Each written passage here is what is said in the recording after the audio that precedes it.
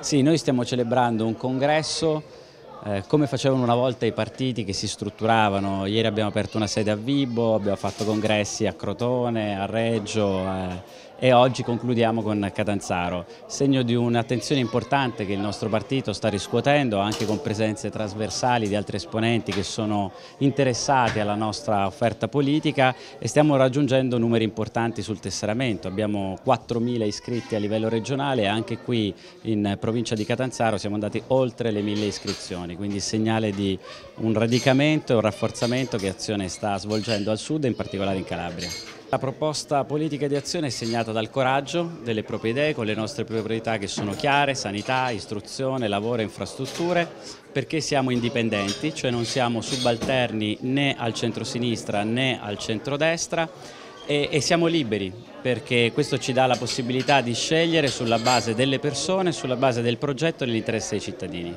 Azione si compone di diverse componenti, c'è la componente del socialismo liberale, Azione viene dal partito d'azione dei fratelli Rosselli e quindi una componente sicuramente eh, partigiana e sicuramente più vicina al centro-sinistra.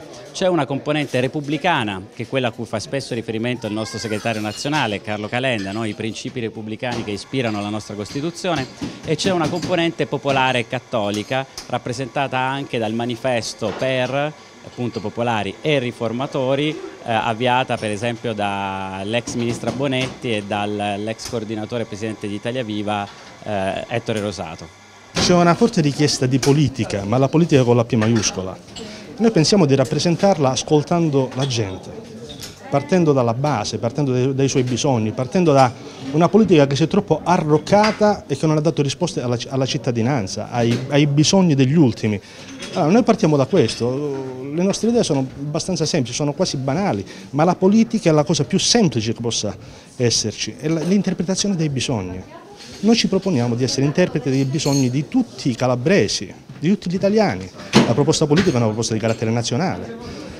Nella provincia di Catanzaro abbiamo avuto un successo importante in fase di tesseramento, senza neanche diciamo così, spingerci oltre. Tanta gente è venuta da sola, ma tanta, tanta gente è venuta da sola. Allora capisci che c'è la richiesta di un nuovo percorso politico, ma c'è sostanzialmente un bisogno che la politica si riappropri dell'etica e della morale e noi speriamo di interpretarla e cerchiamo di inter interpretarla nel migliore dei modi. Ci proviamo, continuiamo a fare politica come l'abbiamo sempre fatta, tra la gente e per la gente e mai contro qualcuno, sempre per qualcosa che è la nostra terra. È un test importante che caratterizzerà molto l'azione, prevalentemente sulla regione Calabria, nella provincia di Catanzaro, nella fattispecie, dove noi saremo un soggetto attento a, a, e, e, e, e soprattutto presente in ogni provincia presente in maniera significativa in ogni provincia.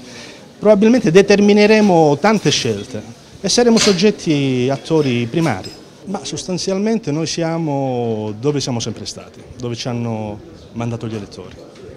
Non ci sottraiamo dalla responsabilità perché una comunità va governata anche con le proposte che provengono dall'opposizione.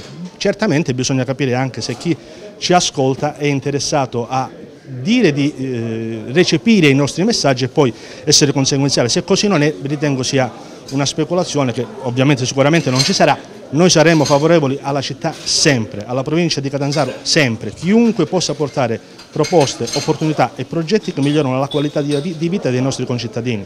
Non abbiamo pregiudizi nei confronti di nessuno, qua c'è tanto da lavorare. Insieme forse riusciremo a fare qualcosa, diversamente faremo soltanto fuffa e ce n'è già troppa.